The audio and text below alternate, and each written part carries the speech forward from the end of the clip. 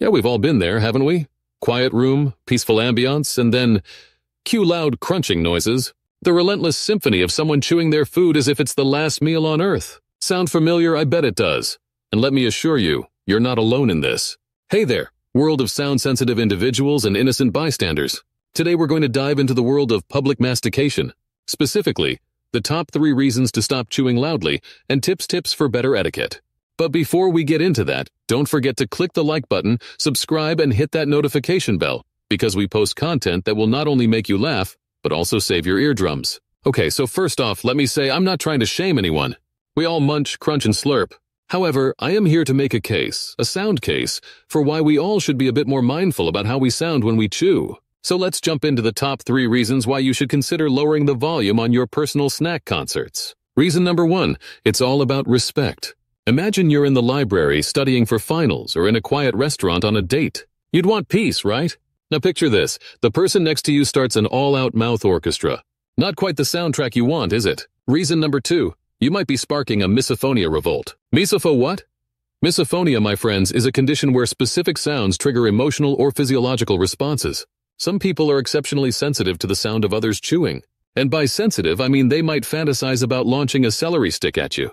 And reason number three, health matters. Chewing loudly often means chewing with your mouth open, which can actually lead to swallowing excess air.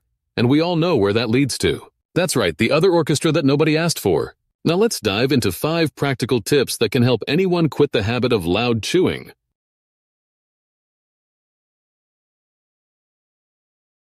Number one, mindful eating. This is perhaps the most effective method. Be conscious of how you're eating. Notice the sounds you're making and work on minimizing them.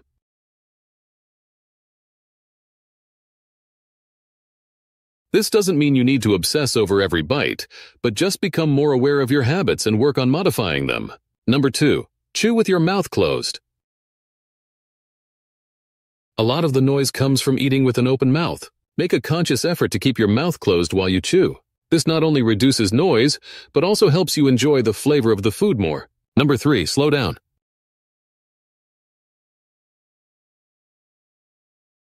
We often eat quickly due to hunger or a busy schedule, and this can lead to louder chewing. By slowing down, you not only decrease the noise you make, but also improve digestion and increase enjoyment of your food. Number four, drink water.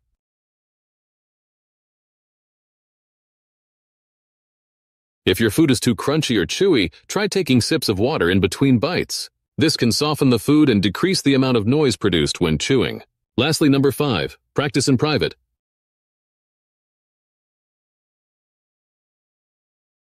If you're self-conscious about changing your habits in front of others, practice alone. This can help you become more comfortable with quieter chewing, and you can then implement these changes more easily in social settings. Remember, breaking habits can take time, so be patient with yourself. So, the next time you're about to dive into your favorite bag of chips or crunchy veggies, remember, respect, misophonia, and health. Let's dial down the decibels and create a less noisy world, one bite at a time. Now that's something to chew on, right? If you enjoyed this video and learned something new, make sure to give it a thumbs up. Remember, every like on this video is one less loud chewer in the world. Don't forget to share this with your friends or even your favorite loud chewer, and let's get the message out there. Hit that subscribe button for more content that entertains.